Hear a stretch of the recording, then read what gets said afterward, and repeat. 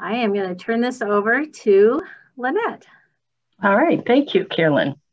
Um, welcome, Guild members and guests, to our March presentation. Uh, I am Lynette Taylor. If you don't know me, I'm one of the co-presidents of the Art Guild this year. And today I have the pleasure of introducing our speaker, who is Mr. Ken Vogele. Um, he is he is uh, from the Black Hills area of South Dakota. And um, he is going to give us a presentation today on uh, his he the collection that he and his wife have um, accumulated over a lifetime uh, of Native American arts and crafts. And um, with that, I think I will just let Ken take over and tell us all about his collection. Thanks, Lynette, and good morning, everyone.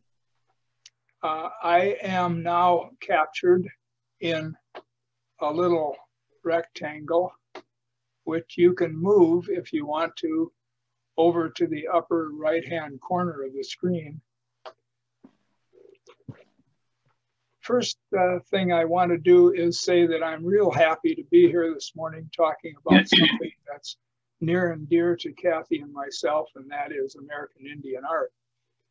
Before I go any further, I'd like to give you an overview of what I, how I think this presentation should play out. First, I want to talk about how we came to collect Indian art. And then I want to give you some perspectives on Native American art as we see them. And then I'd like to introduce you to some of the characteristics of Lakota beadwork and secondarily of Lakota quill work. We'll then look at a number of pieces from the collection itself and then I will entertain some questions. So uh, I'm now out of the box for a moment. And I want to start at the beginning, our beginning, which is when I was in medical school at the University of Nebraska. Cathy and I met and married, and it was about that fast 52 years ago. And then later on in 1975, we moved to Rapid City. And Cathy began hanging out at the teepee shop which was in the old Sioux Indian Museum. And there she met Emma, Emma, Emma, Emma Amiotte, who was the director. Uh, and they became fast friends. Emma ultimately reti retired in the early 1980s. And Cathy and she continued to get together. And Emma ultimately convinced Cathy to begin buying and selling Indian art. And so the two of them would travel to the Pine Ridge Reservation or the Rosebud Reservation and would buy things. And then when I went to medical meetings, Cathy would haul a huge suitcase with her and go to museum shops and sell the pieces that she had collected. Uh, I'm going to take a moment here to put myself back in the little box. And she named her business Travois because she was dragging this thing behind her. This is a Cheyenne family here dragging a Travois behind a horse. And in the lower right, you see Cathy's business card with a facsimile travois. This was the kind of travois that Emma used to play with when she was a girl. It was a cow toe bone horse with the travois dragging behind it. In late 1985, Cathy and a partner started the Sioux Trading Post. And here's Cathy with some of her wares and the second iteration of the Sioux Trading Post on Rushmore Road. In 1993, Cathy sold Sioux Trading Post to Prairie Edge. And you can go to Prairie Edge today and see Sioux Trading Post looking not too much different from the way it looked back when Cathy owned it. But we started collecting a few pieces in the late 1970s and continued collecting some uh, in the 1980s, more while she owned the trading post.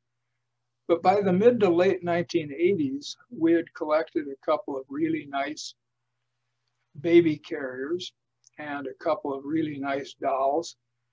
And we decided that we would focus our collection on kids stuff. Number one, we liked it. And number two, we liked to live with our things. And these Native American kids things were small, so you could put them on their wall on, on your walls, and they didn't take up um, a huge amount of space each one, so you could get a lot of things up there. By the late uh, 1990s, we had collected enough things that we wondered what we were going to do with them. And so we decided, well, we'd like to give them to a museum. Our kids weren't particularly interested in maintaining the collection. We thought we'd like to give them to a museum in South Dakota, but we didn't know exactly where they should go. In 2009, we were asked to be on the board of the South Dakota Art Museum. And while we were there, we noticed that the South Dakota Art Museum valued Indian art as part of the corpus of overall art in South Dakota. And it was obvious that Native American pieces, even from the small collection the museum had then, were intertwined into exhibits whenever that was feasible. And consequently, in 2017, we began uh, donating Indian pieces to the South Dakota Art Museum. Next, I'd like to move on to some perspectives on Indian art. These are our thoughts. First of all, we think that Native American art, Indian art, is under uh, underappreciated. There are a number of reasons for this. There's the issue of craft versus art. A lot of people think that Indian art is craft work, and that craft work is less important than fine art. We don't look at it that way. Of course, a pair of moccasins that's undecorated, one can think upon that, about that as, as a craft.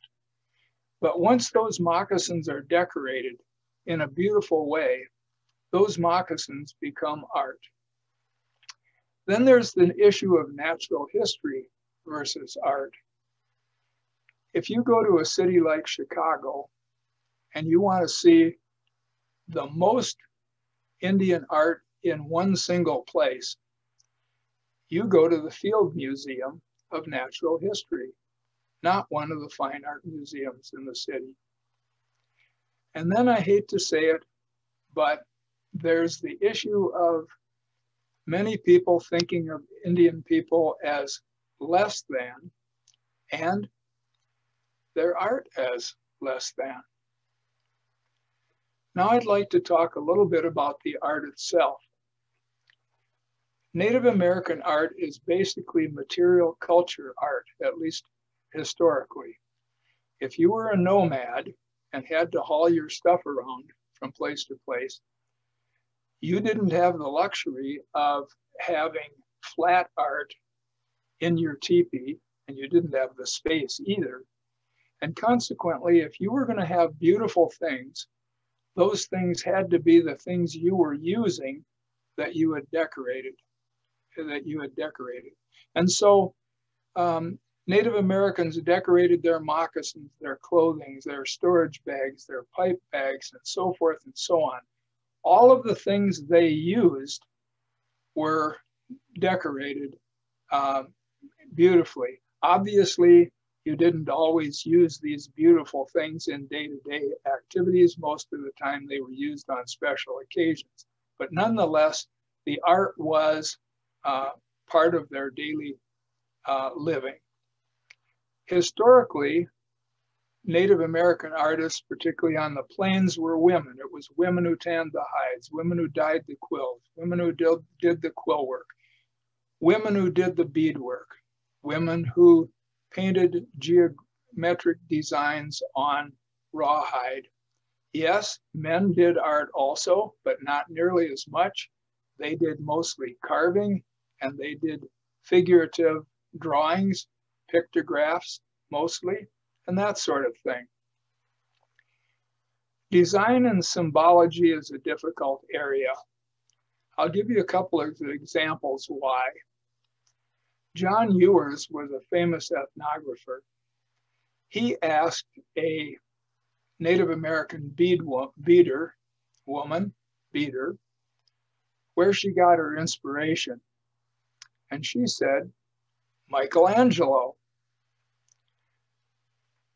A good friend of ours, Michael Leckberg, was talking to a rosebud wo bud woman, uh, Elizabeth Spider, and he asked her where she got her ideas for her designs. And she reached up and tapped the side of her head. And so, who are we to determine why a given woman used a particular design or what that design actually meant. Now, if the woman tells us, that's another matter. But if we don't know for sure, I don't think it pays to speculate. And at that point, we just look at it as a beautiful piece of art. Want to briefly show you where most of the Lakota most of the pieces that will be coming from South Dakota will come from. Um, they our pieces come from the Crow Creek Reservation here and the Lower Brule Reservation. Those are located about 10 miles north of Chamberlain. And then the Cheyenne River up here, the Pine Ridge, and the Rosebud. And just very briefly, almost all Native Americans who live in South Dakota west of the Missouri River are the Lakota Sioux, that is the L speakers. Most of them on the east side are D speakers, the Dakota Sioux. And then down the Missouri Trench, you have some N speakers, the Yankton Sioux and the Yanktonai, the Nakota. Here's a baby carrier, that's Lakota. Um, that I want to use as a representative example. I want you to think of this panel here that we're looking at as if it's a canvas. You'll notice right off that the designs are geometric. That's usually the case with Lakota beadwork. There's usually a central design flanked by side designs. It is usually bilaterally symmetrical, and quite often symmetrical up and down. The background bead color is usually white, and the other colors used primarily are those that you see in this example. Dark navy here, a kind of red that has a white line going through the center of it, so we call it red white hearts. Yellow, as you see here, apple green, and light blue. And then after about 1990, you start seeing this shiny stuff, either uh, shiny silver or shiny brass. Uh, in this case, this is cut steel beads, and you see them here as accents, and here, and up in here, and so forth. Almost all Lakota beadwork is done technically using what's called the lane stitch. So the woman picks up a tiny little piece of hide, uh, strings some beads on her needle, then picks up another piece of hide and it goes back and forth and back and forth. And you get this sort of laned look to things, as opposed to the various kinds of applique beadwork that some tribes use.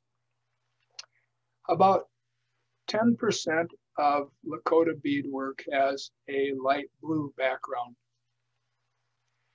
Now, in all the slides you'll see from now on, the top uh, line tells you what the piece is, and then the maker if I know the reservation, the tribe, and the year made. Now we're back at this baby carrier that I used as an example. And I want to just basically go over its construction. If you think of it as a box, it is a box without a top and without a bottom. Um, just parenthetically, uh, all of these baby carriers have a tab on the back. It's uh, usually a rawhide tab that's been beaded just to give it some extra flair. But this kind of baby carrier has to be held because it doesn't have any stiffener in it, like a cradle board.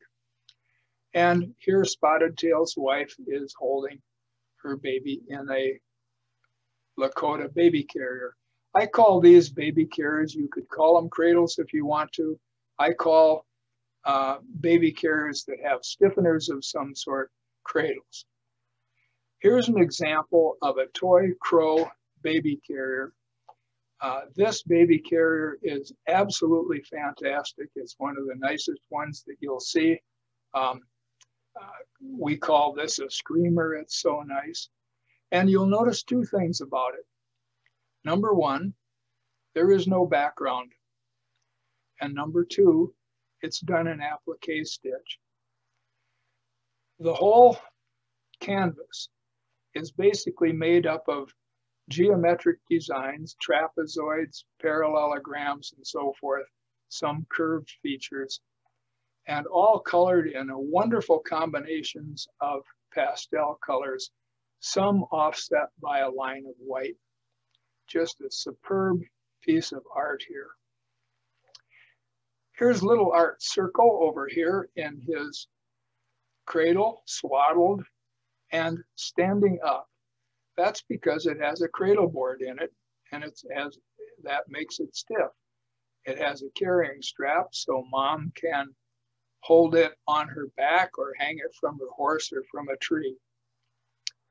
I like this slide for another reason, and that's because the picture was taken at Nespelem, Washington. And take a guess as to who was born at Nespelem. It turns out it was Cathy. Her dad was a doctor in the Indian Health Service during the World War. We're talking here about World War II, not World War I. Here are a pair of absolutely well-loved moccasins. Cathy and I really like these moccasins. They aren't super special, but the maker of these moccasins presumably didn't have hide and yet wanted to have a traditional looking pair of moccasins. So she put beadwork on the vamps, just as it would have been in the old days, but then it would be quill work. Here's Emma Amiotte from Pine Ridge. And on the left is Emma in her mother's dress. And on the right is a picture of Emma, Emma's mother, Maggie Mesteth Romero. Now you'll notice that these two dresses don't look the same. Cathy pointed out to me some time ago that Maggie's picture was a black and white picture that was colorized by the photographer. And the photographer obviously didn't know didn't recall the exact colors of the dress. Arthur Amiotte, a relative through marriage of Emma, gave the dress to the South Dakota Art Museum many years ago. And actually, this breastplate that Emma is wearing is the first piece of uh, art that we gave to the South Dakota Art Museum back in 1998. Emma was a doll maker, and this example here is typical of the kind of work she did. She has dolls in the Smithsonian Institution, by the way. Uh, lane stitched, typical Lakota designs on the dress, the knife sheath, the moccasins, and so forth. You'll notice there are no features on the face. This is because Emma said that uh, you don't know what the mood of your doll is. Might be a happy day, might be a sad day. And so she left that up to the person who was owning the dollar playing with it. Here's a toy cradle from the Warm Springs Reservation in Oregon. You'll notice it's applique stitch. And here we won't go out on a limb to say that this is a floral design. This is a knobbed kind of cradle. These knobbed cradles were made by the people in, some people in uh, northern Oregon and on up into eastern Washington. A number of different tribes made this type of cradle. Dorothy Little Elk made this particular pipe bag. She's a Rosebud Lakota woman who was a prolific beader. You'll notice right off that the two sides are different. If the front on your left would have been geometric, it would still likely have been different from the back. This pipe bag, including the figurative pieces, is lane stitched. Here, a warrior on a horse, a chief holding the reins of its horse, an antelope grazing. The backside is geometric. And this particular de circular design on the bag, I do know what that means. Basically, um, Dorothy said that her grandmother told her that this kind of design was taken from the logo at the corner of maps that pointed north. So this is a representation of the so-called compass rose. Here's a pendant by Mitchell Zephier.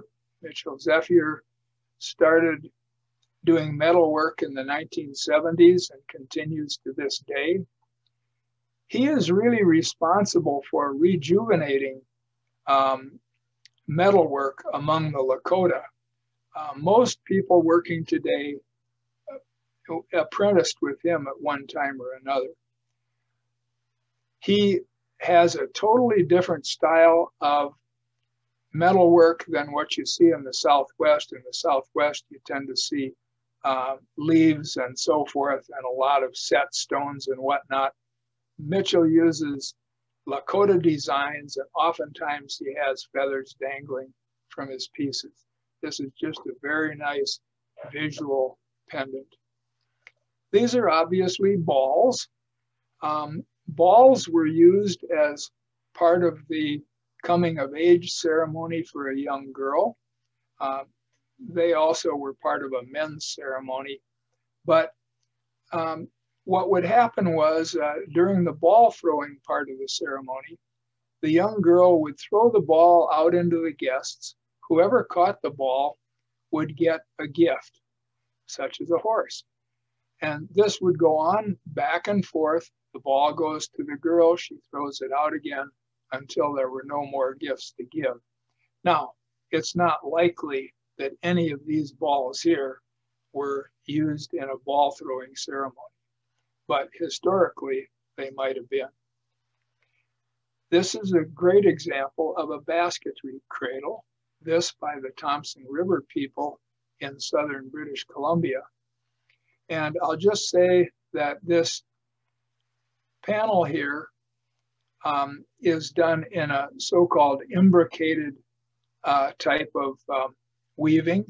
And uh, imbrication, imbrication means uh, folding um, it's a complicated uh, means of making a design, but it makes a very pleasant design.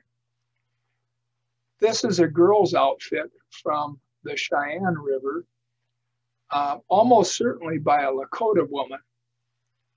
And this bucket over here and these moccasins are clearly Lakota pieces. The designs are Lakota.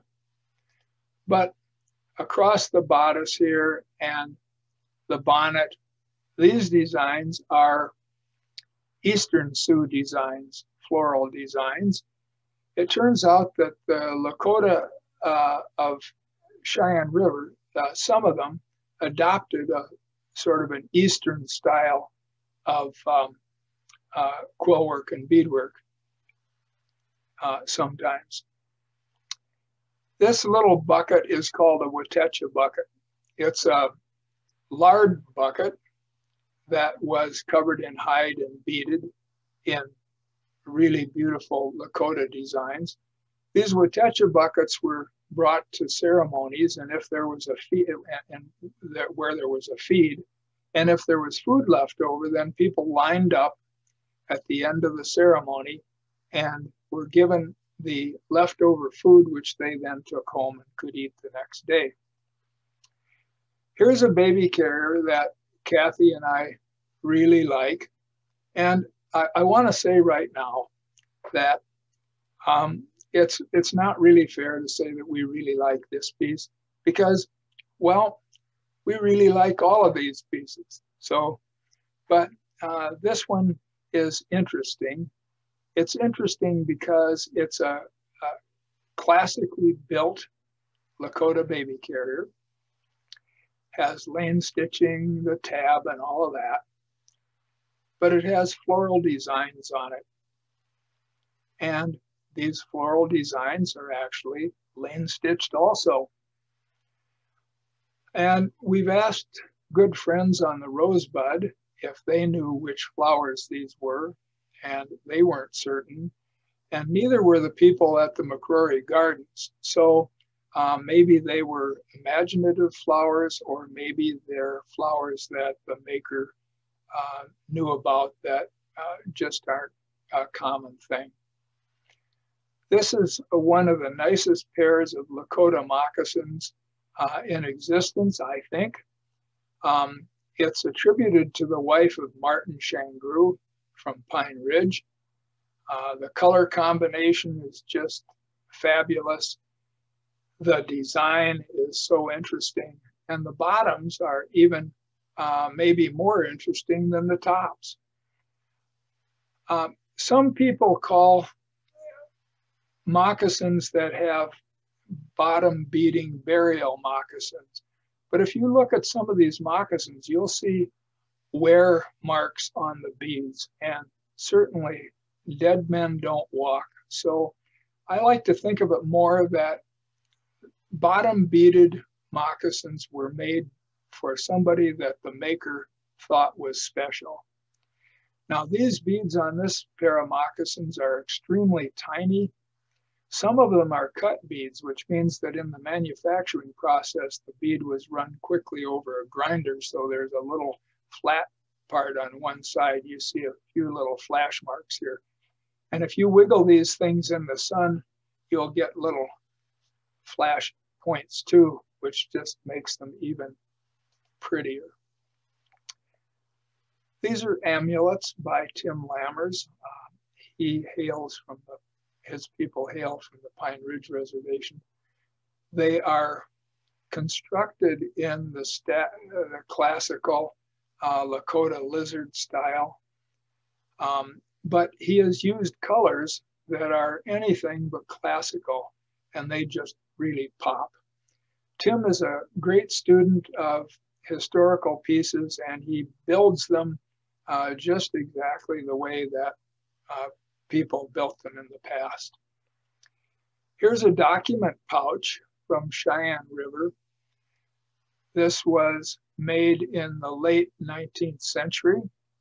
You can see that even the back is decorated in a very beautiful, though somewhat sparse fashion.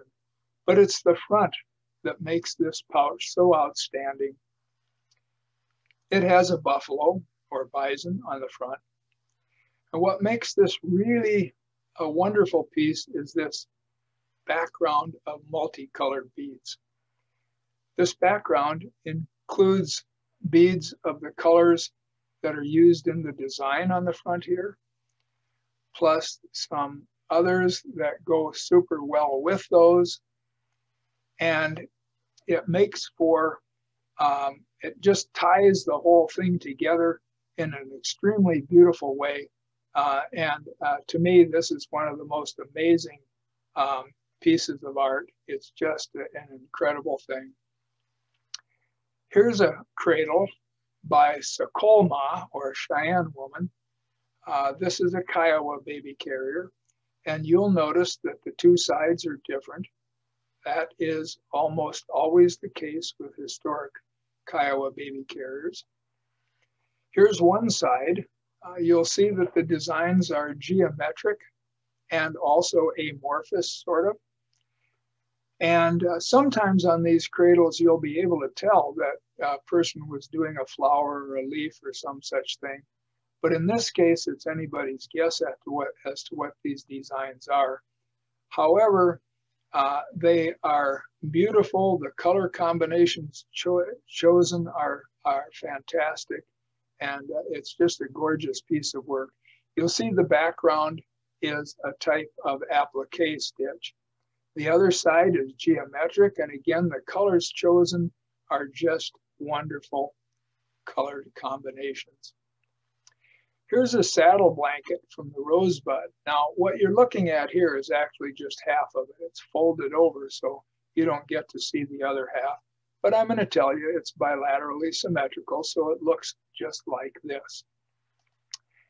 This is little Katie Rubidoux Blue Thunder uh, from about 1890, a Rosebud girl, and she is standing on a saddle blanket. So you can see that when the saddle blanket is laid out, it looks kind of like the letter H with a great big fat bar across the middle. That was lopped over the horse and the saddle was put on top of that. Now, it's pretty obvious that Katie is holding a doll. And the point I want to make about that is that in cultures everywhere, girls use dolls and dolls help them uh, learn to be good mothers. I want to just point out one other thing about this photograph, and that's Katie's leggings, because we'll be seeing a pair of leggings momentarily. But here is this saddle blanket once again in a closer view, and you'll notice that uh, the colors and designs are just extremely pleasing. It's a wonderful piece of art. This piece uh, is somewhat special to me because if you'll notice here in the sort of upper left, there are two circles on this. Uh, and that's because this saddle blanket was used on um, David W. Clark's desk. He was an Episcopalian bishop on Crow Creek and Lower Brule reservations. And so after we purchased this, we used it on my desk at work. And then after I retired, when that desk came home, we used it on the desk at home for a while. Of course, we had uh, plastic spacers underneath glass so that I didn't injure the piece at all. Here's this pair of women's leggings I was talking about from the Pine Ridge Reservation. And I'm going to guess that your eyes are immediately, immediately drawn to these crooked crosses here.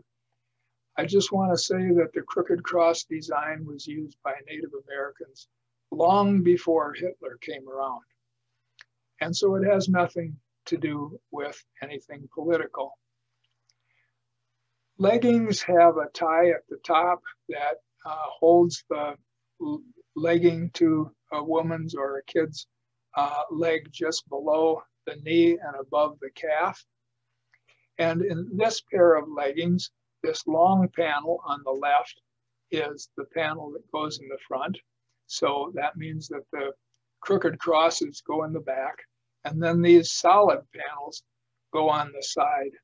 So I know it isn't quite fair because these are made to be round, but they're laid out flat here. And so if you, again, if you look at this as a canvas, the whole thing, it just makes for a very beautiful picture. Here's a doll that we like a lot. Uh, it's a fairly simple doll from Pine Ridge, but it's a gorgeous thing, um, in part because it has this Cheyenne pink type bead across the yoke of the dress. And that pink sort of ties everything else together on the piece. It's just a wonderful, wonderful little doll. From Pine Ridge also is this boy's vest.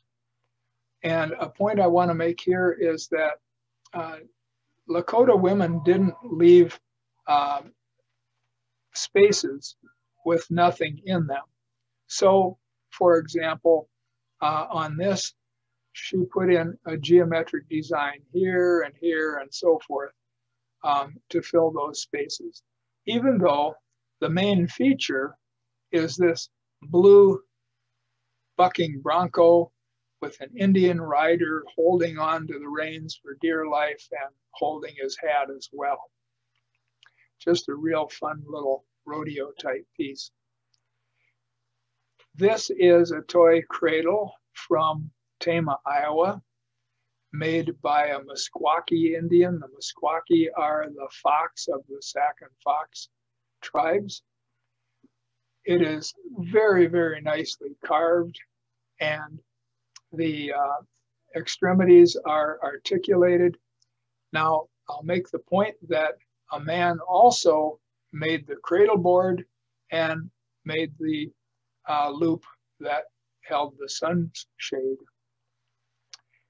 This is a double ball game. This is the double ball part of it. Across the plains, women played double ball. Uh, the double balls didn't all look like this. Uh, there were different varieties for different tribes. The idea was to take a stick and to either catch this double ball and throw it forward or to pick it up off the ground with your stick and throw it forward.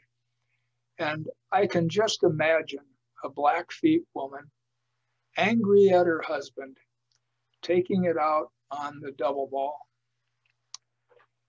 Here's a photo of Rosebud Men from 1897. And in this picture, eight of these men have blanket strips on their wool blankets. These blanket strips all look sort of the same, but each and every one of them is different. And here's an example from our collection. Uh, you'll notice in this close-up that the background is white, which is typical. And there are two other major colors, red, this is of course red white hearts, and then blue, in this case, it's a pony trader blue with very little other color. Uh, in this case, a tiny amount of green here uh, in these tondos. Bouton Shoes by Emil Her Many Horses. A fabulous piece of work. Emil is a guy, yes. Um, he does all sorts of beadwork. He doesn't feel constrained by any style. In this example, he has used applique beadwork, but with classic Lakota pictographic type designs. Here's the other side. I point out that this woman is carrying an umbrella, and you might say, gee, uh, did Indians really have umbrellas? And the answer is yes. If you were on the hot plains, the sun was beating down on your head, and you had had the opportunity to buy an umbrella, you would have bought one to use to keep the sun off. Here's a Western Apache doll that we think is special. Uh, this doll has features typical of the Western Apache. Uh, first of all, uh, one piece moccasin and a legging, sort of high top moccasins with these turned up toes uh, called ears by some people. Some other people call them cactus kickers. And a typical hair ornament here. But more importantly is this necklace right here. Now, if you open this necklace in the back and lay it out, it becomes a T. And so that's called a T necklace. And this kind of necklace was used in Western Apache puberty ceremonies. And Cathy and I think that that's probably why this doll has breasts. You almost never see breasts on Native American dolls. Here's Emil Her Many Horses again, this time a baby buggy that's a toy. And you'll notice here he's used a Santee kind of floral beadwork. This is obviously a commercial piece that he has put beading on. That was pretty common for Indians uh, to do. Sometimes they beaded bottles. They even did bead umbrellas. There's an interesting story that goes with this uh, cradle. It, it has, it, I'm not showing you this, but uh, inside a ceramic uh, doll that is Caucasian. And so at a show, somebody came along and uh, said, Oh, golly, how come there's a white baby here? And Emil said, Baby captive. This is a Mohawk cradle. Uh, the Mohawks were the far eastern people in the Iroquois Confederacy. Their territory is, was northern New York and up into Canada. I point this uh, out that the painting and work is on the back of this cradle. So this is the hoop here and the footrest. So the baby was swaddled on the other side. That's a little unusual. Uh, this is a typical design uh, and typical work so that the flowers have been carved out in each case and all the other details have had a little bit of carving to give them depth. The design is obviously floral and that's very typical. And it's not uncommon to see a bird feeding the chicks on these kind of cradles. This is a possible bag. Some people call them teepee bags. Possible may come from the idea that you can put anything possible in them. This came from Cheyenne River. We like it a lot. It has translucent crystal beads as the background, which is extremely uncommon. It has bold geometric designs across the canvas here. And across the top, the typical five rectangular bar, and on the side, a three rectangular bar. You'll notice tin cones with this shocking pink horsehair. When you first see something like that, you say, oh, that, that really can't be something that Native Americans did. But indeed, what happened in the late 1900s, they figured out that uh, crepe paper, pink crepe paper, uh, could give a shocking pink color. And so uh, that was commonly used. Now I can't be sure this was made with crepe paper. It may have been may have been made using aniline dyes, but nonetheless, it's an extremely visual piece. Here's an effigy pipe stem, probably by no-nos. There are a number of these uh, around. Um, in this case, uh, he did a bison, an elk, and a Badlands sheep. And they're just very pleasant designs. The quill work, of course, was not likely done by no-nos. It was probably done by a woman, most likely his wife. Here's a pair of Santee dolls.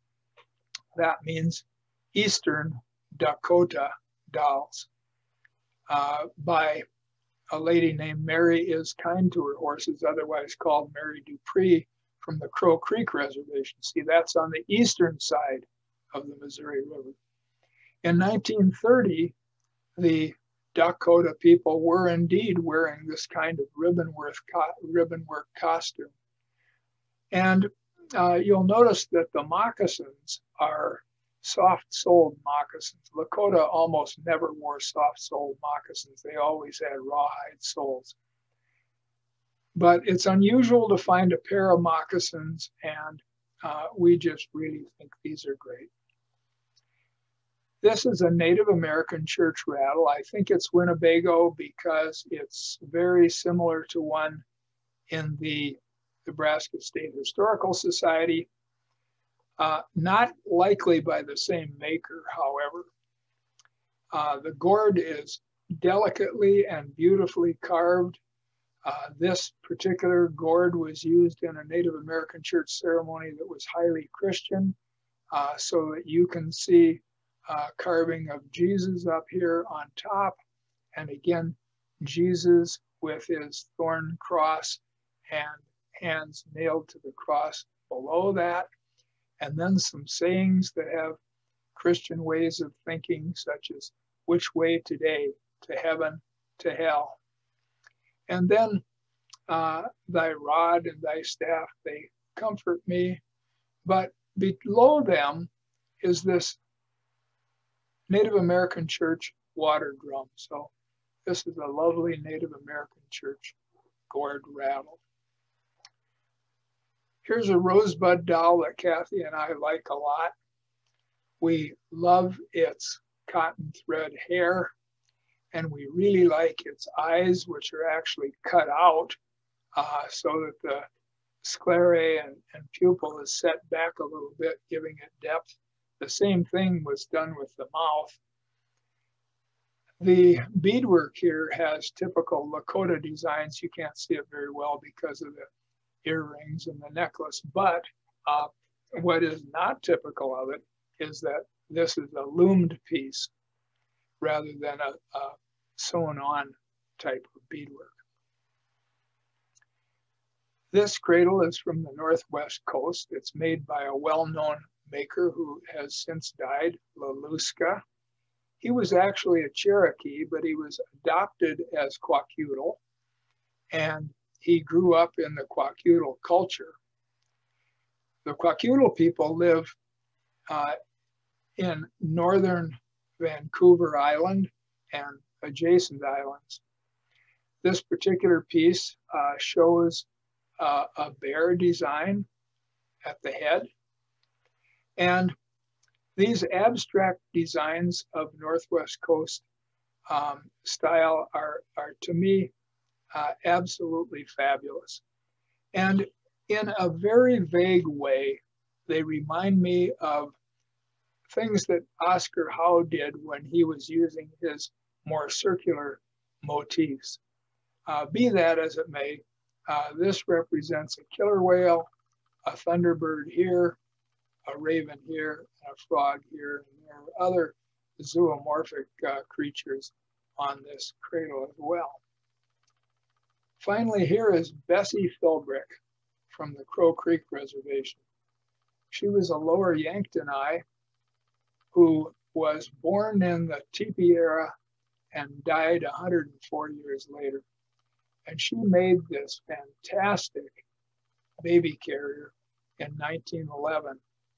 The quilled top is just outstanding. Her quilled stitches are extremely tiny and get tinier as you go down by the to the bottom. The design is just uh, absolutely uh, supreme as far as I'm concerned.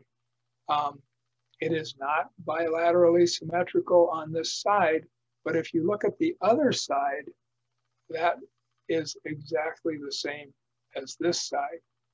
And the tab on the back is bilaterally symmetrical. It's gorgeous as well with a couple of zoomorphic birds and a butterfly on it. So folks, uh, the bottom of this baby carrier has a crazy quilt, which just adds to the overall glory of the thing. And that's the end. So are there any questions? I'm going to come out of my little box now and take any questions that you might have. I hope you enjoyed the presentation. Thank you, Ken. Um, if anyone has questions, and I'm sure there are some, please write them in the chat and I will pass them on to Ken.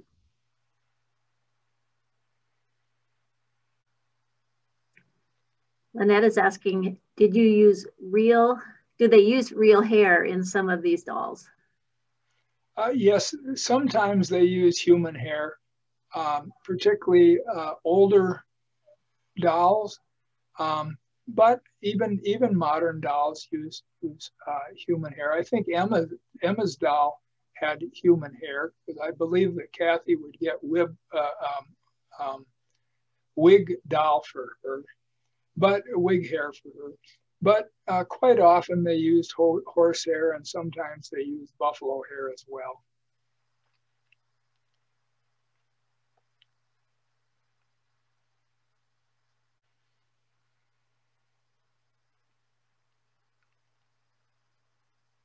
All right, here's a question from Prudence. What did they decorate with before beads became available? Before beads were available, uh, they used, the, the Lakota people used porcupine quills and, and sometimes bird quills to decorate their pieces with. And then their thread would have been sinew, which is from the fascia on the back of an animal uh, the back of a buffalo, for example. And that makes a very nice uh, uh, piece of thread that's extremely durable. And sometimes Native Americans continued to use sinew uh, even into the middle of the last century.